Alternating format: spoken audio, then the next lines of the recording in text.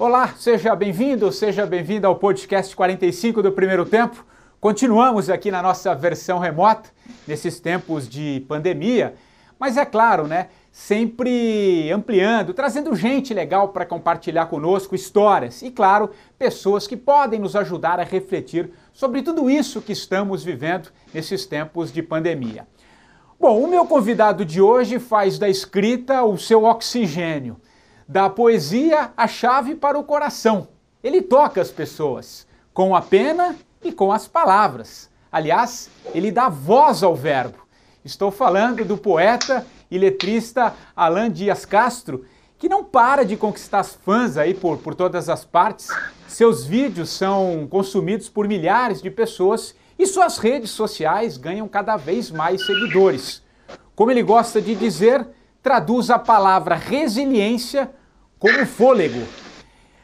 Alan, que legal ter aqui, cara, para esse, esse papo contigo. Obrigado por aceitar o nosso convite, cara. Que prazer, Patrick. Muito, muito feliz de trocar essa ideia com vocês. Obrigado pela apresentação aí. Resumiu perfeição aí. Obrigado. Que legal, pô. E você, você, como eu disse, você, você encanta não só na, no seu texto, na sua fala. Você tem um papel muito legal nesse, nessa, nessa forma de você trazer a poesia. Eu acho que conversa muito com esse momento, cara. E eu queria começar o nosso papo, antes de, de, de entrar em todas essas poesias, nessa fala, queria um olhar seu, cara, sobre esse momento que a gente está vivendo. Né? Você que sempre capta essas sutilezas né, na sua escrita, na sua fala. Que momento é esse, cara? O que, que é isso que nós estamos vivendo? Uma ótima pergunta, né? Se alguém tiver, me passa. Porque eu, preciso fazer um parênteses antes, Patrick, porque eu, não é um objetivo, assim, que é, é uma consequência, acredito. Não era esse papo de tocar pessoas, de trazer, às vezes, muitas vezes, respostas. Eu não teria essa pretensão, assim, né? Eu sempre brinco que eu tenho uma, eu tenho a preocupação de responder uma pergunta que é a seguinte: toda vez que você vai fazer alguma coisa, uh, que seja inovar, que seja a favor do que você quer, você vai ouvir o que você vai ganhar com isso, né? E esses vídeos, essa poesia que eu apresento é a substituição dessa frase que você vai ganhar por que você tem a oferecer. Então a minha resposta tem sido essa, por sorte, se a gente pode chamar assim, eu consigo identificação das pessoas, porque eu também sou um cara, eu aproveitei esse gancho porque eu me questiono muito, que momento é esse? Então, eu acho que essa esse não é uma coisa de alguém que chegou lá, que tem respostas e que passa em vídeos. Uhum não, não teria nem essa capacidade. Eu acho que a identificação vem por ser duas pessoas perdidas, talvez, na mesma direção. Né? Então, o meu ponto de vista dessa situação, Patrick, para mim é, é, eu acho que é a impermanência na prática. Né? Eu lembro de estar no primeiro dia de janeiro, primeiro dia do ano, Patrick, eu dei uma entrevista para o Jornal Gaúcho. Eu sou gaúcho, mas moro no Rio há uma década. Estava lá passando o fim de ano e fui convidado para dar uma entrevista. Patrick, eu tinha uma agenda fechada até meio do ano e aquela coisa concreta, sabe? A gente uh, achar que sabe o que vai acontecer amanhã e por isso se uh, ousa planejar, né? Então é muito engraçado isso. Para mim, esse momento, eu estou vivendo uma total adaptação, como eu te disse, a impermanência na prática, né? De me readaptar, de não encarar isso uh, de uma maneira muito pesarosa, assim, de conseguir encontrar uh, saídas, circunstâncias, tanto para a minha vida pessoal quanto para profissional, que em todos os sentidos deu, posso ser, sendo bem sincero, deu uma bagunçada, assim, deu uma sacudida, mas infelizmente eu diria não é privilégio meu, acho que está todo mundo nessa mesma adaptação constante, né? Então, para mim é isso, em permanência na prática. É.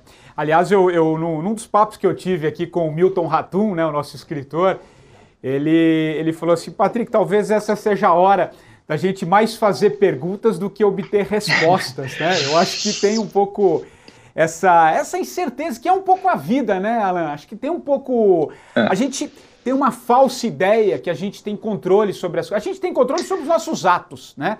Mas a gente não tem controle sobre muitas coisas, né? Eu acho que esse momento traduz muito isso, né? Você vê assim também. Nossa. Perfeito, controle sobre os nossos atos. Eu acho que a gente tem muita preocupação de muitas vezes querer resolver a vida dos outros, os problemas dos outros. Por isso que eu também até me abstenho de querer ser encarado como um cara que dá respostas. Inclusive tem um livro só de perguntas, assim, de, de provocações, como eu costumo dizer. Por isso, pela incerteza. Até tenho, eu tenho, gosto de fazer umas analogias como eu escrevo. E tem duas que me remeteram assim. Essa tua fala me remeteu à analogia do barco, onde eu digo a gente sugerir, eu sugiro que a gente pense na nossa família, nossos amigos, pode na sociedade em si, assim como um grande barco navegando no mar, só que cada um dentro desse barco, Patrick, leva as suas tempestades particulares.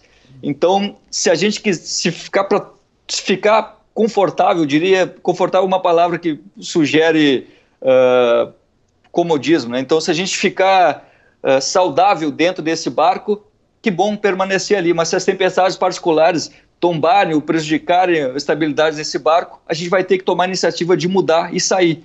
Porque vamos dizer que é egoísmo, você está cuidando das próprias vidas ou focando no que é possível você fazer, mas não é. Porque enquanto ninguém muda, todo mundo reclama, ninguém se ajuda. Eu acho que esse momento é crucial para a gente perceber isso, pelo menos eu falo por mim, né? De perceber a importância de uh, uh, resolver os meus problemas antes de tentar levar a calmaria para alguém. Então, é, e como a minha resposta é escrita, para mim tem sido um mergulho em escrita assim gigante de produção por uma necessidade até pessoal, particular, assim, né, de externar o que eu sinto, de tentar uh, entender as situações e transpor para a caneta e, por consequência, dividir com as pessoas. Então, uhum. é um momento, sim, de olhar para mim e tentar dividir, não soluções, como eu disse, mas também de, uh, dúvidas, quem sabe, né? as pessoas se identificam pelas dúvidas. É, e você falou que cada um, né, como se estivesse aí nesse, nesse barco, mas cada um com as suas tempestades, né, enfim, cada um com a sua história. É. é acho que esse é um momento muito de, de, reflexão mesmo, né? A gente, e claro, a gente ouve muito que é um momento de resgate, né? De você tentar conviver melhor com você, enfim, talvez para alguns ir lá mexer nos seus quartinhos, né? Cada um tem lá o seu quartinho, aquele segredo que normalmente a gente vai vai empurrando naquela rotina da vida, né? Naquela... As suas gavetas ali, né? Exato, nas suas gavetas, enfim. E esse é um momento quando você para, né? é, é o momento que tudo depara, né? Vem, vem à tona uhum. isso tudo, enfim. É um, é um. Por isso que eu acho que é um processo de muita mudança, né? É. Você, você, você tá otimista, Alan? Assim, em que sentido que eu quero dizer? Você acha que essa vai ser uma oportunidade? É claro que a decisão é de cada um, tá? Não dá para gente falar, enfim, mas de uma maneira geral, você acha que essa parada no mundo, né? Esse, essa pausa, vai nos ajudar a trazer algumas reflexões que talvez aquela rotina, aquele mundo acelerado estava nos engolindo? Ou você acha que não? Enfim, por onde você caminha? Por onde Olha, você está olhando, cara? Eu tenho muita preocupação hum. em não me iludir, né? Então eu não posso, também não, não quero ser total, totalmente otimista, mas esse problema não é o primeiro que a gente enfrenta, né, Patrick? Então a gente perceber essa situação como o, o derradeira para uma mudança gigantesca por mais simbólico que seja o momento, eu acredito que uh, quem não percebeu ainda a oportunidade de mudança ou de, ou de olhar para o todo, como eu sempre digo ali, de uh, quando cada um faz a sua parte, fica fácil perceber que cada um faz parte do todo, né? É. Então acho que tem muito isso. Talvez é uma grande oportunidade sim, mas eu não quero me iludir, porque talvez esse momento de que as pessoas sejam mais tocadas é por uma situação até egoísta, Patrick. Eu, eu explico por quê porque não é a única maneira de se morrer. Então, por que, que a gente foi ficar atento a isso só agora? Eu sempre digo o seguinte: uh, se eu, eu, sempre digo que só ajuda o outro quem está bem, mas eu sempre tive porque eu nunca ajudei ninguém, sabe? Eu acho que essa questão nos traz essa, essa noção de, de finitude, porque, porque a morte está batendo na nossa porta, sabe? Pessoas que a gente ama. Uh, se foram, estão indo, as pessoas estão confundindo uh, números com vidas, é só mais números. Então, quando essa situação realmente bate na tua bolha ali, ameaça furar a tua bolha, a gente começa, opa, eu vou ter que perce me perceber parte do todo e parar de olhar para o meu umbigo. Uhum. Então, é uma situação pessoal que eu estou vivendo agora, que é a paternidade, né? Eu trago uma brincadeira que é o seguinte: quando eu cortei o cordão umbilical da minha filha ali, eu acho que eu alcancei um distanciamento com o meu próprio ego, assim, ou pelo menos não, não vou dizer que cortei, porque é impossível, mas um distanciamento, ou seja, eu, a minha preocupação eu faço uma brincadeira, não é mais se eu dormir bem, se a, se, é se a minha filha passou bem a noite. Então, acho que tem uma questão quando, quando a gente tem esse cuidado com o outro, assim, essa percepção. esse é o momento de cortar, cortar o cordão umbilical com o nosso ego e com a sociedade, inclusive. Eu repito, por que só agora? Porque, de repente, porque está batendo na nossa porta. Se for isso necessário para a gente perceber, uh, encarar, sim, esse momento como um antes e depois, maravilha mas repito, não sou, eh, eu não quero ser eh, negativo, mas também não quero me iludir, porque a gente vê agora as primeiras promessas de mudança, de evolução, a gente já vê que as pessoas uh, estão esperando um novo normal que nunca vai existir, né? Porque o que a gente vivia antes eu não consigo encarar como uma situação boa, simplesmente porque já tinha muitas coisas negativas que a gente passa, vinha fazendo vista grossa. Eu faço uma brincadeira, né? A gente já vinha usando máscara para não para não para evitar o outro. A gente já vinha vivendo isolamento a dois há muito tempo, sabe? Então, por que que agora os problemas dos outros vão uh, vão fazer com que a gente acorde? Que bom que seja assim, mas na minha opinião é porque está batendo na, na nossa porta. Então, vamos tentar ser positivo, né, para não, não trazer só, só essa situação assim tão egoísta, mas espero que sim, que parta dessa percepção de que se todo mundo fazer a sua parte, fica fácil perceber que finalmente a gente faz parte do todo. Eu acho que interessante o que, e o que você falou, né? Talvez é, é, acho que isso é fundamental se a gente quiser alguma mudança um pouco mais significativa, é sair um pouco da gente, né? Eu quero é, é, alcançar o outro, que é muito que você faz com a tua poesia, com a tua escrita, né? É alcançar o outro, independente. Você faz porque a forma como você acredita, que você enxerga, mas de alguma maneira toca o outro, né? Então acho que isso é isso, isso tem muito sentido que você acabou de dizer. E, te ouvindo, Alan, me veio uma outra questão, né, que você falou da, da experiência da, da, da, da paternidade, você, você, acabou de ter Sim. filho, né? Uma filha, uma Serena. Filha. E, e, e, eu imagino que você também, esse, nesse turbilhão de coisas ao mesmo tempo, né, de, de nascimento de uma uma vida que, que surge, você também há pouco viveu as dores também de perder um pai, né? Em função da Covid mesmo, né? Ele, ele eh, não sei se foi, foi exatamente só isso, mas é, se, se, veio junto. Mas, mas o que, que eu quero dizer? Eu estou trazendo esses dois elementos que é para até quem está nos assistindo e nos ouvindo refletir um pouquinho, né, sobre esse, esse sentido maior que essa vida que acaba Perfeito. de nascer e também a finitude. Você também conviveu com a perda. É. Fala um pouquinho desses dois, desses dois polos, Alan, que eu acho que é interessante você compartilhar, cara. Perfeito. É, é, são dois polos, eu não consigo dizer que são excludentes, né? talvez sejam complementares, né? o amor e a dor. Então eu vivi isso sim com a perda do meu pai. Vou ser bem sincero, Patrick, eu, eu sempre tive uma relação com a morte assim, como uma força motriz, assim, de, de perceber a finitude e por isso dar valor à vida. E aí quando a gente tem, de fato, encara essa situação, não é simples, mas me faz perceber a importância de aproveitar as pessoas enquanto estão aqui ainda. Então, essa possibilidade que a gente tem, não necessariamente uma ameaça que a gente vai perder amanhã, mas é uma possibilidade hoje, entende? Então, eu passei um eu já tinha quebrado muitas barreiras assim, em dividir meus sentimentos, em dizer eu te amo, inclusive para superar essa, para que minha vida voltasse a fazer sentido, ter dito eu te amo para o meu pai assim em vida, poxa, uh, não, não vou dizer que diminui a dor, mas alivia muito. Então, Uh, e essa questão de perceber uh, a importância da vida através da finitude, ou seja, da morte, ganhou um outro lado agora com a vida, né? com literalmente o renascimento, a continuidade. Né? Então, não necessariamente a gente precisar descobrir uma doença rara para se curar da monotonia, como eu sempre brinco. Eu tive o oposto disso, que é a vida, e pude perceber o privilégio que é estar vivo, o privilégio é que tem uma, literalmente uma vida pela frente. Não só a morte me despertou esse, essa questão de aproveitar a oportunidade, essa, essa benção que a gente tem, que é viver, Uh, mas agora o, a contrapartida, como eu te disse, são polos, mas não são excludentes, né? são complementares. Então eu tive essa, essa presença na minha vida assim de maneira inevitável e estou sinceramente assimilando isso. E sem dúvida a questão de entender que não acabou, né? Meu pai, a, a gente está vivendo, estou vivendo depois do fim porque, como te disse, consegui dividir muitas coisas com ele, consegui agradecer a trajetória isso me dá um alívio muito grande. De ver minha filha chegando, é o que eu te disse, a sensação de continuidade, né? É aquele alívio de que as coisas simplesmente encerram ciclos, não necessariamente acabam porque vivem dentro da gente. Talvez seja uma, só uma simples frase feita para me consolar, mas tem momentos em que as palavras ajudam, eu acredito muito nisso. Né? É, e, e, é, e, é, interessante porque quando a gente vive na plenitude, quando você consegue externar isso que você, essa convivência que você teve, a história que ele a história do seu pai que também se construiu em você de alguma maneira, né? E você se abrindo, acho que você faz muito isso nas suas, na sua escrita, né? Nas suas poesias. Eu acho que ali é você, né? A tua, a tua essência. Num, né? a, gente, a gente passa a vida muitas vezes nos escondendo, né? Com, com receio de, de não se abrir, de não. É, sabe, de, de, de ser, de estar tá pleno, né? Eu gosto muito dessa coisa de estar tá pleno, de ter sentido uhum. naquilo. E tem um efeito, né, cara? E, e eu, eu sempre trago um pouco esse momento que a gente está vivendo como uma oportunidade nesse sentido, porque você tocou nessa outra questão que é a finitude, cara.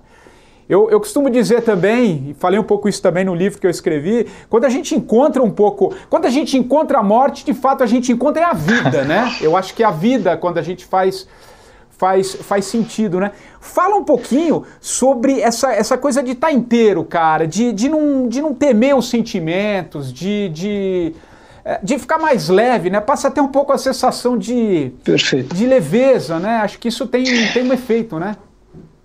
Perfeito, cara. Eu acho que no relacionamento tem muito essa ilusão também da gente ter que dar o seu melhor, né? Isso não é plenitude, Patrick. A plenitude são os dois lados. A pessoa vai, não é o seu melhor, é por inteiro, né? E isso implica em quê? E não tá bem o tempo inteiro, não tá bem. Ninguém tá bem sempre. É, as coisas não são como a gente planeja, como a gente começou o papo falando. Então a gente está aberto a isso, uh, é abrir uma janela para sinceridade. E aí eu, eu não, não me. É claro que uh, a gente brinca aqui em casa, assim, que muitas vezes Uh, eu sou um cara que nas redes sociais sou mais triste do que na vida real. A gente brinca aqui em casa, pô, o primeiro cara que é mais triste aparece chorando num vídeo, que isso, cara? Dividir isso com as pessoas. Mas se eu te disser o alívio que isso me traz, Patrick, de sinceramente não precisar esconder que, que sim, que eu sofro, que eu tenho sonhos, que eu tenho medos, e o que que isso, eu, na minha poesia, eu, eu chamo de pontos de encontro. Porque quando a gente tira essa armadura, assim, de que a gente tem que ser o, o bonzão, o, o, cara foda que não sofre, ou que sabe que está acima de qualquer coisa e posso te dar conselhos. Quando a gente tira essa armadura, a gente tem um ser humano ali. E atrás do Patrick tem um ser humano também, atrás de cada um que assiste os vídeos, tem uma pessoa ali com medos, com sonhos, com desejos, em fase boa, fase ruim. Ou seja, vivendo uma vida, quando real, por consequência plena, momentos bons e ruins. É isso que eu tento dividir ali. Eu não escondo esses lados e no começo, sinceramente, eu não conseguia assistir os vídeos. Eu me sentia muito constrangido, assim, de, poxa, será que eu não me abri muito? Será que esse tema tão pessoal, uma coisa em primeira pessoa, sabe? Mas é, a consequência disso foi uma liberdade muito grande, por incrível que pareça, assim a consequência dessa, dessa abertura e gera uma abertura grande. Um cara se abrindo, por ah. consequência, as pessoas vêm é. e, e, se sentem no direito também. Pô, eu te ouvi, agora vem cá, me presta se ouvir. É. Então é. tem muito disso, assim, essa troca. É. Não, e, e, é interessante mesmo, compartilho 100% do que você disse, porque eu, eu, eu também, eu, eu, escrevi um livro, né, que hoje que dá o nome ao programa, o 45 do Primeiro Tempo, onde que eu, que eu conto um pouco a minha história de transformação, né, tinha uma vida executiva, eu achei que era hora de parar, refletir, e vamos, vamos talvez buscar um pouco mais a essência. E nesse livro, que foi um processo catártico, eu, depois eu quero falar com você sobre o processo de escrita, que a escrita tem um poder fantástico, né? Acho que você, mais uhum. que ninguém, sabe disso. É, e no livro eu contei, ele foi um processo catártico, eu fui contando toda a minha vida de alguma maneira, e eu, em um dos capítulos eu falo sobre reflexões sobre ausência, né? É, eu fui conhecer o meu pai aos 40 anos de idade. Não é que eu fui conhecer o jeito do meu pai, eu fui conhecer meu pai fisicamente aos Olha 40 só. anos de idade. Eu história, conto isso no, no livro, né? Então, poxa, mas você foi muito corajoso, você, pô, você não teve, você não abriu, você contou a história da tua mãe. Sim, concordo que eu fui corajoso, mas assim, eu acho que tem um processo de. Primeiro você tem que estar um pouco seguro, né? Assim, você tem que estar seguro no sentido de. Essas coisas têm que estar bem sólidas em você, uma construção interna, para você também se expor. Por que, que eu estou trazendo esse exemplo a partir do que eu ouvi, do que você está dizendo? Porque é isso, né, cara? A gente ser muito, a gente ser verdadeiro, a gente conecta com o outro, né? Você toca o outro. É uma forma muito clara, aberta da gente tocar o outro, que faz muito sentido com o que você faz na poesia, né? Uhum. É, na, no seu texto. Vai lá você trouxe uma questão muito importante, já está uh, concreto dentro da gente a situação ali. Eu ouvi um conselho uma vez, Patrick, eu não sou muito de conselhos, mas esse é aqueles que você demora a digerir e é sinal que tem coisa boa ali, né? Do, do, quando as pessoas têm muita intimidade, têm esse direito de te dar conselhos que demoram a ser digeridos. E nesse caso foi um que eu ouvi o seguinte: resolve teus problemas antes de escrever, não desconta na caneta. Isso é, para que meu livro, o cara, meu amigo falou, para que teu livro, teu livro não cheire a raiva, não cheire a ódio, você consiga. Uh, eu não consigo diferenciar, sinceramente, o que eu sou do que eu faço. Acaba sendo uma consequência. Eu quero ser um cara tranquilo na minha vida pessoal, por consequência, eu quero que isso transpareça na profissional, no que eu escrevo. Então, se eu usar a caneta como um para-raio e descontar toda a minha raiva ali, o que, que eu vou estar passando? A consequência vai ser a raiva e a gente vai gerar essa, essa força, essa energia de uma maneira que eu não necessariamente uh, acho que seja inválida, ou cada um tem a sua maneira de exorcizar suas claro. questões ali. Mas eu prefiro, como eu te digo, cara, eu quero viver uh, de uma forma positiva. Então, resolve teus problemas antes de escrever. Foi um, um, um conselho que me serviu muito justamente para digerir as coisas antes de escrever. Tinha essa questão do meu pai que gostaria de ter vindo para o Rio de Janeiro. É uma coisa muito delicada de se tocar, porque envolve você estar tá falando do rumo da trajetória da, da vida de outra pessoa. A gente não tem esse direito de julgar a trajetória de ninguém. É, muito menos de me botar o meu medo era esse, que eu, no, meu livro Voz ao Verbo eu conto a trajetória dele e eu digo que por mais parecidos que sejam o caminho, cada um tem que fazer o seu. Uhum. Então o meu medo era esse, de, parecer que ah, fui além do meu pai. Não é isso, cada um tem a sua, sua trajetória e longe de mim querer julgar o rumo que a, uh, que a vida de cada um toma. Mas eu percebi que realmente eu deveria seguir o meu caminho por conta, dar esse passo a favor do que eu sempre quis. Então, resolver os meus problemas antes passou por isso, por entender que eu não preciso levar na mochila o problema dos outros e muito menos tenho o direito de julgar ou diminuir a trajetória de ninguém. É. Então esse alívio, assim como você falou, é fruto disso, dessa autoanálise, digamos, é. dessa autocrítica, assim, para poder dividir alguma coisa, não vou dizer elaborada, mas pelo menos é. em termos digeridos, assim. É, é, nos deixa um pouco mais leve, leve no sentido de, de mais pleno, né? Eu acho que é um pouco essa, essa palavra. E, e, e falando um pouquinho sobre, é, sobre a tua escrita, a tua poesia, eu até compartilhei em umas redes, até antes, na, na, nas minhas redes sociais, até antes de, de, pensar em falar contigo aqui no, no, no, no, no programa, um, uma, um texto que você faz. Eu, eu não, não trouxe exatamente, mas é, é, você fala assim que as pessoas que confundem o que são com o que têm. Uhum. Né? E, e, aí você conta a história é, que, que a gente é mais do que um simples crachá, né? Um, um, que você conta a história de um, de um, um senhor, um, anal, um semi-analfabeto, um analfabeto, que ele, ele tinha muita sabedoria, né? E ele fala do encontro com uma outra pessoa que tinha um nome muito mais forte, que tinha um cargo. Então eu achei fantástico, eu compartilhei isso porque de alguma maneira conversa com esse meu universo, que é o que eu falo hoje, né? Eu falo muito sobre propósito, fazer coisas que fazem sentido tal. E, e, e um dos livros que me influenciou na, na própria escrita do meu livro foi um que chamava Vida Sem Crachá né? que demais. Que é da Cláudia Jutsi, que é uma jornalista Sim. que também já falou com a gente aqui. E, então tem um pouco isso, né? A gente é, é, é, a gente é muito mais do que um cargo, aquela coisa do, do, da sua vestimenta, né? Tem por trás um ser humano, que é o que você acabou de dizer. Né? Sim. Né? Fala um pouco. A pergunta disso, é o seguinte: é. é. o texto é o professor analfabeto, e a pergunta é o seguinte: as pessoas que confundem o que são com o que têm, quando perdem seu cargo, se despedem de quem? Eu digo que de quem nunca foram na realidade, porque a verdadeira identidade está atrás do crachá, né? E o meu primeiro livro se chama O Zé Ninguém, eu lancei em 2014, que justamente falava sobre isso, sobre não conseguir me, me, me adequar, me, me sentir pleno numa sociedade onde eu preciso uh, que meu nome abra algumas portas, eu preciso que o meu cargo, o meu título chegue primeiro que eu. Então esse, esse texto, o professor analfabeto, finaliza com essa, com essa esse pensamento assim, não deixe que sua posição chegue primeiro que você, né? A gente perceber que a gente é muito. E eu acho que essa questão, o medo que a gente tem hoje em dia, essa competição de um querer passar por cima do outro, tem muito está muito focado no ter e o ter vai te trazer o medo de perder, né? É. E a tranquilidade desse professor analfabeto ali em dividir a, a diferença entre instrução e sabedoria, né? Como eu digo ali, só a vida ensina a diferença entre instrução e sabedoria. A tranquilidade vem de saber que ninguém tira o que você é. Então você não está competindo, está competindo contra a tua própria ignorância, contra o teu próprio ego, contra o teu próprio, sabe? Então, uma, não é uma competição, uma, uma evolução, porque ninguém tira o que você é. Acho que é uma questão que traz um alívio gigante, assim, e, e para minha surpresa foi muito compartilhado em redes sociais de, de LinkedIn, por exemplo, coisas assim, as pessoas se questionando, sabe? Ou talvez querendo alfinetar o chefe, não sei. É, pode ser também, tudo cabe, né? É, mas é que a gente vive, né? E a gente estava falando um pouquinho do, do que era o normal antigamente, antigamente, antes, né? Enfim, a gente não sabe o que, que vai rolar daqui para frente, que tipo de mudança virá. Mas é que a gente também está muito sobre a ditadura da alta performance, né, Alan? É, parece que você, você acabou de falar, ah, precisa ter isso, você precisa ter aquilo. Às vezes a gente precisa mais ser do que ter, né? Agora, claro, né? Não estou aqui fazendo o exercício de uma poliana, não é isso. Que você não Perfeito. possa fruto do seu trabalho. Mas eu acho que tem que ter uma, tem que ter um encontro e uma linha que que ajusta, cara, porque correr, correr, correr, correr não tava legal, né, cara? Não tava legal. Não, não tava legal, enfim. Não sei o que, que virá daqui para frente, mas não tava legal, né? Acho que já perceber isso, né, ter essa ter essa grandiosidade de perceber que não está legal e a partir daqui a gente tem que mudar. Acho que o primeiro passo para qualquer coisa, que eu sempre digo que é individual, né? Se você for pegar os, os, os planos de mudança de vários, sei lá, chame de que quiser, de, de autoanálise, de... o primeiro passo é admitir que tem algo que te incomodando e quer mudar. E ninguém pode dar esse passo por você. É. Ou seja, não pode empurrar ninguém, porque senão vira aquilo que eu estava falando antes, cada um tentando resolver o problema do outro.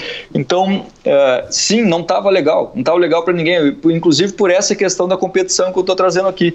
Uh, e acho que talvez eu esteja nesse momento tão, como eu te falei, entre morte e vida, percebendo que realmente vale a pena, né? O que realmente vai valer a pena tira, tirar meu tempo. Será que vai ser uh, rede social onde eu vou me dá o trabalho de criticar alguém, onde eu vou tentar expor uma vida que eu não levo para depois desligar aquela câmera e ter que resolver comigo mesmo. Vamos atalhar. Pelo amor de Deus, acho que é o momento da gente perceber, ah. não só pela finitude, mas como sendo agora talvez uh, otimista, pela oportunidade que estão nos dando de, de, perceber que as coisas acabam, a vida acaba e a gente vai realmente optar viver na ilusão, viver uh, uma, nessa máscara que a gente falou assim. Então, e, de normalidade assim, eu sempre trago uma questão do Gibran, do, do, num texto que ele tem do louco, que ele fala que quando roubaram as máscaras dele assim, né? Uh, ele saiu gritando primeiro ladrões roubaram minhas máscaras quando o sol tocou na cara dele pela primeira vez sem máscara ele saiu agradecendo obrigado obrigado e o que que disseram é louco, porque aquele que nos compreende, é foda, né? Aquele que nos compreende escraviza algo em nós. Ou seja, a gente tem que partir. Por que, que a gente precisa do normal? Para entender os, próximos, os próximos passos dos outros, para que a gente não consiga, uh, para que a gente não, não precise sair de uma bolha de entendimento, assim, que é o que eu sempre digo do rótulo. As, precisam, as pessoas precisam rotular. O Alan é assim, o Patrick é dessa, dessa forma.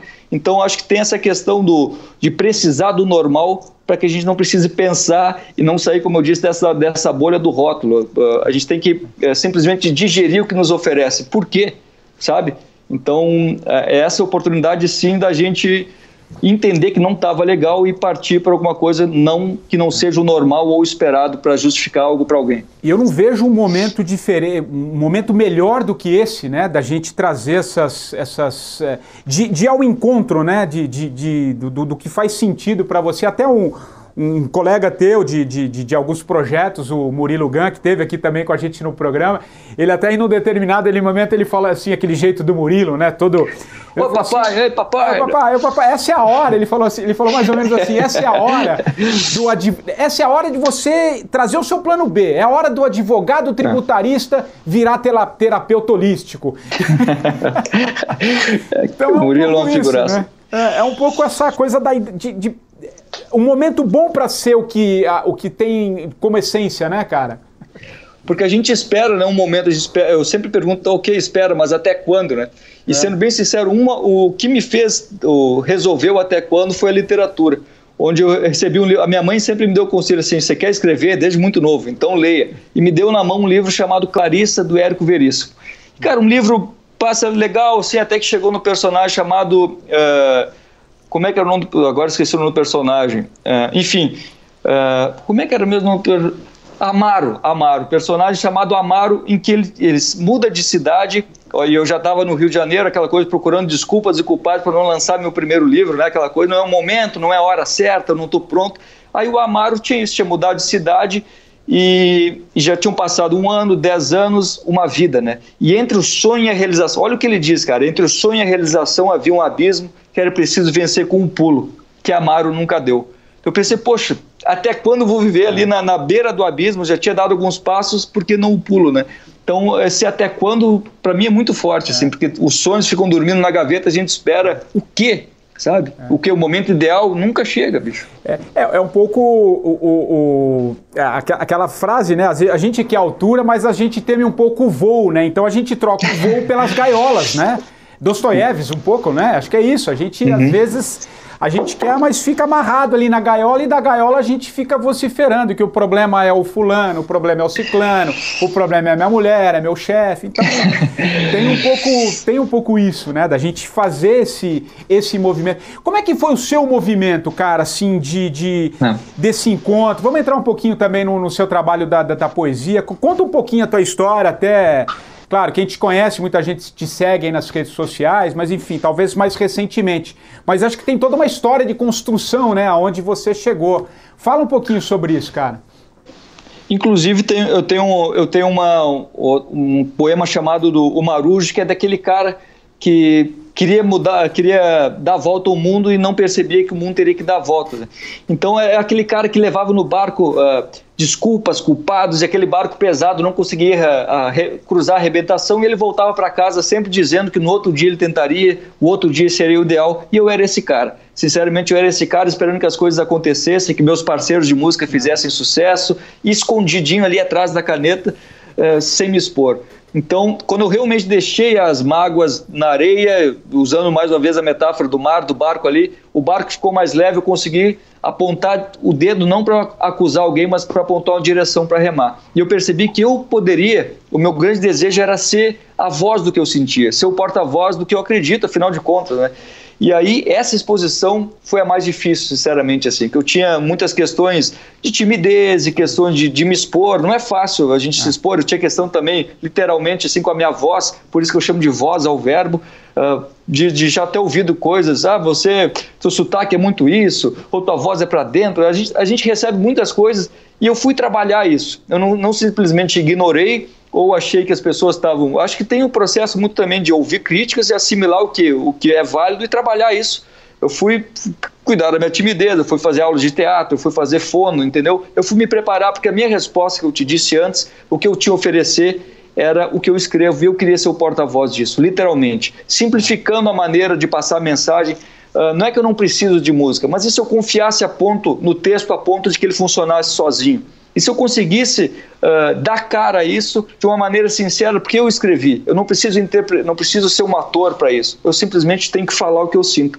Então, uh, esse processo foi muito mais de descoberta pessoal e, claro, uh, poder contar com pessoas que estão do teu lado na trajetória muda tudo. O que mudou demais assim nessa trajetória foi a vinda da minha mulher para o Rio, que a gente estava à distância, eu vim correr atrás do sonho, nesse papo assim de, né, de correr atrás do sonho, eu sempre digo que tem a realidade no meio do caminho. Então demorou mais tempo que eu imaginava, não foi tão simples assim mas eu pude contar com a força dela, que me disse o seguinte: Alan, você veio para o Rio para quê? Não é para escrever? Então escreve.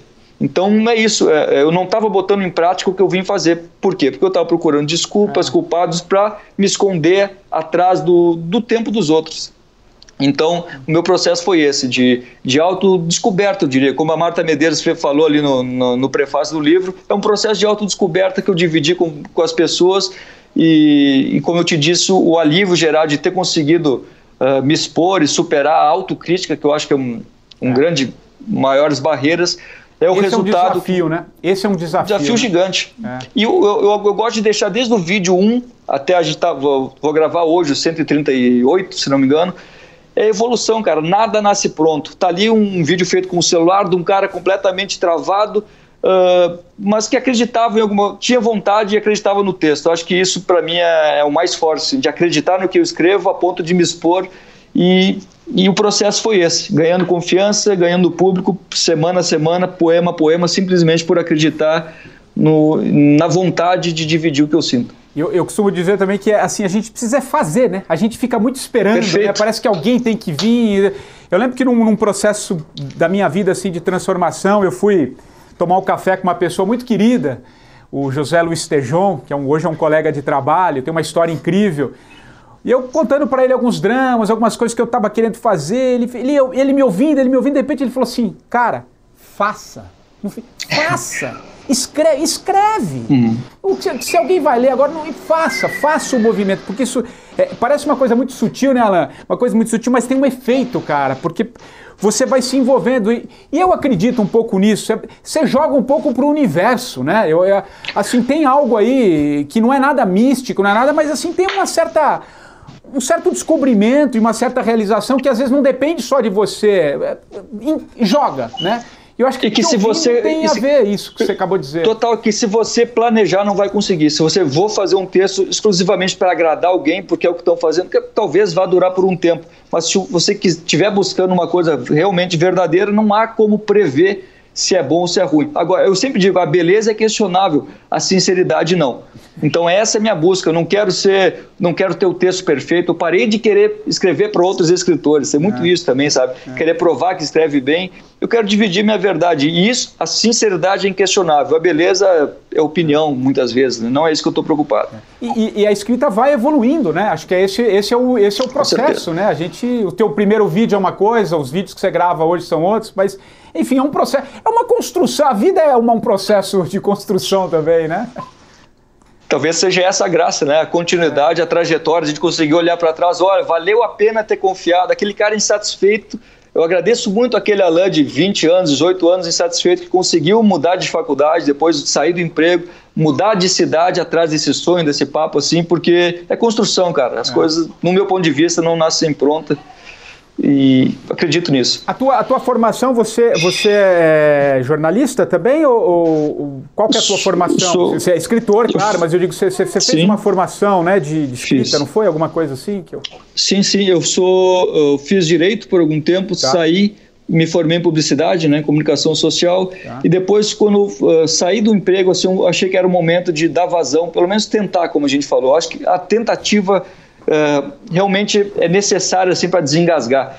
Eu vim tentar a carreira de escritor, como eu te disse, só que eu não simplesmente parei e agora sou escritor. Eu vou estudar então, fui me especializar, fui, fui estudar fora, tive essa oportunidade que eu agradeço muito, não estou dizendo que é regra, mas sim, uh, me especializei na escrita e essa trajetória passa por ter vindo para o Rio também e com, e com, um sonho na mochila, literalmente. Eu era aquele cara que apresentava letras, eu tinha os textos, eu, meu sonho era lançar livros, então eu apresentava em editoras. É. Eu acho que o resumo dessa, de, de tentar pelo menos, eu lembro Uh, Patrick, quando eu cheguei aqui no Rio, eu tinha um sofá na casa de um amigo, ou seja, o sofá não era meu, né? Mas, mas representava uma liberdade tão grande pelo simples fato de ter tá tentando, não sei, eu não saberia até quando ia aquilo. Eu, eu por sorte, eu não me dei um prazo para tentar, porque isso gera uma expectativa grande. Mas o fato de sim, uh, tá não está mais só dando desculpas, está botando em prática o que eu acreditava, é um alívio muito grande. Eu acho que todo o resto é consequência desse alívio. É. E a escrita tem um poder fantástico, né? De, de é, enfim, pelo menos no, no, meu processo, imagino que você, eu estou falando isso porque eu imagino o teor né, do, que você, do que você faz, né, é uma coisa muito forte. Fala um pouquinho desse poder da escrita, cara. O que, que é escrita para você? Você sabe que eu, eu, muitas vezes me questionei sobre esse poder da escrita assim, até perceber o quanto ela é, é, forte e tem influência na minha vida, o que os outros escrevem, o que os outros compõem, o que eu escuto assim. Então eu parei de me questionar.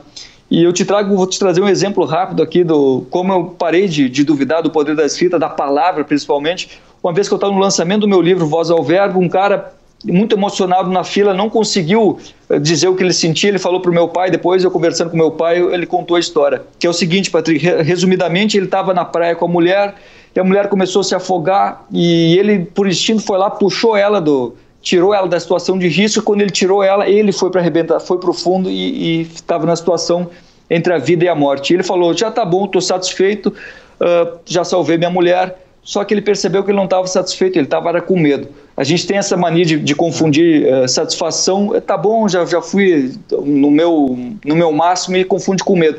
E aí ele lembrou de uma palavra, antes de se entregar de fato para a morte, para a correnteza, enfim, é. ele lembrou de uma palavra de uma música do Reverb, que, que é a minha banda, que era fôlego para remar na volta, fôlego para voltar a remar. Ele ficou com isso na cabeça, rema, rema e saiu da arrebentação. Pô, bicho, então, se a força da palavra, pelo menos nesse caso, uh, deu rumo para a vida dela, conseguiu romper a arrebentação ali, a situação que ele estava, eu acho primordial eu, uh, que eu acredite, é primordial que eu acredite nessa força, porque eu lido com isso todo dia e isso tem uma influência grande em mim. Então, eu respeito muito o poder da palavra, o poder da escolha. Minha vida é escolher palavras ali, né? Da, colocar da melhor forma. Não só um bom trocadilho, uma boa brincadeira, um bom jogo de palavras, mas por acreditar na, na força que ela tem. Eu tenho muito respeito por ela e muito cuidado. Eu acho que tem que ter muito cuidado com o que eu divido, porque as pessoas tomam sim como verdade, as pessoas tomam sim.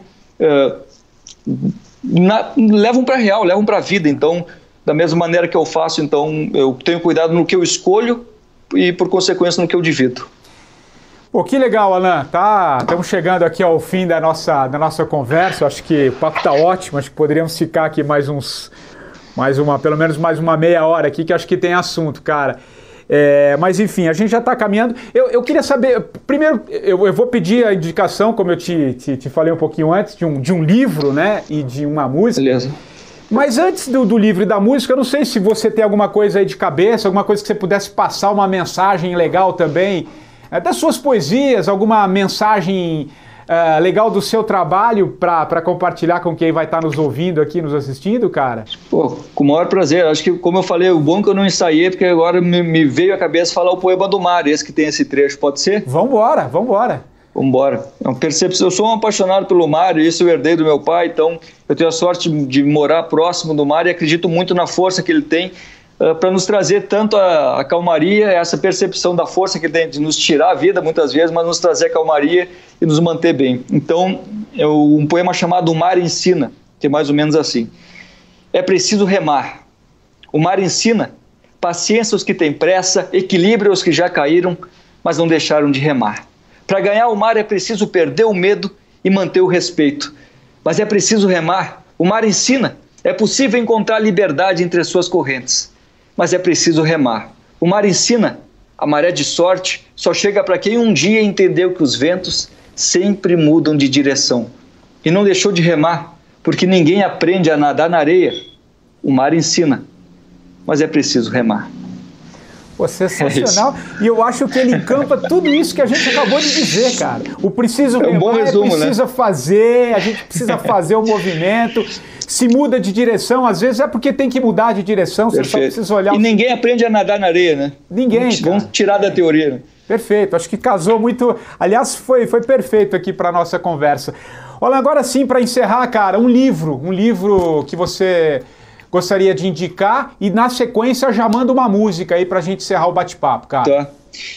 Eu estou num processo de releitura de muitas coisas, nesse processo que eu estou de vida, como eu te falei, uh, entre, num, entre polos da continuidade e finitude da vida, eu indico o que tem me ajudado muito, que é o livro tibetano do Viver e do Morrer. Ah não, é muito, tem sido, não acabei ainda, sinceramente, não, mas é, é uma, um livro de consulta que eu tenho, e mais um livro que é da Maya Angelou, que agora, nesse momento que eu estou, peguei pelo nome, uh, tirei da estante ali para re, reler, que é Cartas à Minha Filha. E a Maya Angelou, para mim, é a maior referência, assim, da, na poesia falada, da maneira de trazer o simples através do que ela vive e dividir com toda a verdade. Eu acho que isso muda tudo, a forma através da verdade. Então, os dois, o livro tibetano do Viver e do Morrer e o outro da Maya Angelou chamado Carta à Minha Filha. Cartas à Minha Filha, alguma, não lembro se é plural ou não. Tranquilo. É Carta à Minha Filha Maya Angelou. Que legal, pô, adorei as duas, as duas dicas, as duas sugestões. E uma música, cara, pra gente encerrar essa conversa aqui na versão podcast. Hum. Pode ser da minha banda? Pô. A Maldição de Ser Feliz. Acho que é um bom resumo. A Maldição de Ser Feliz fala justamente disso, do tempo que eu tentava ser normal e não perceber que a maldição de fato era eh, se enquadrar e, e, era isso. Então a maldição não era ser feliz, era ser normal. Qual que é a banda? Reverb Poesia, A Maldição de Ser Feliz. Show. Adorei. Vou conhecer a música. Não conhecia, mas é uma forma de todos aqui Ótimo. conhecerem também. Alan Dias Castro, cara, muito legal o papo contigo. Obrigado pela, pela atenção, pela sua generosidade, por compartilhar o que você pensa, o que você sente. Acho que valeu o papo, cara. Cara, que honra. Eu, sinceramente, estava com medo de não ter assunto e no fim eu acho que ia mais uma meia hora fácil, né, cara? Obrigado pela gentileza, pela recepção aí. Ia mesmo. Valeu. Obrigado, Alan. E o 45 do primeiro tempo volta na, na próxima semana, claro, sempre trazendo né, pessoas que têm histórias legais para compartilhar conosco. Acho que esse papo ficou muito claro. E você já sabe, se você quiser também sugerir quem você gostaria de ouvir aqui no programa, vai lá também no meu, no meu Instagram, patricksantos.oficial, ou no próprio site da Jovem Pan, vai lá e dê a sua sugestão. Nós voltamos na próxima semana. Um abraço e até lá.